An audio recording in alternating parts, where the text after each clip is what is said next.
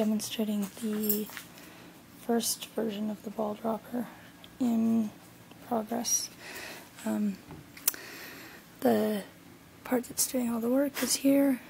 The remote is activated just with a regular electronic collar. The remote for that is right here. Um, allows us to have lots of range.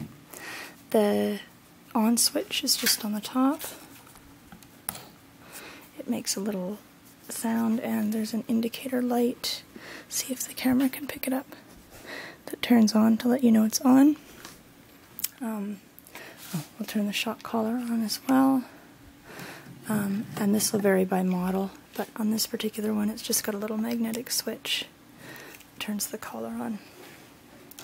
And then when I press the button on the remote, it'll turn as if to drop one ball and then come to a stop on its own.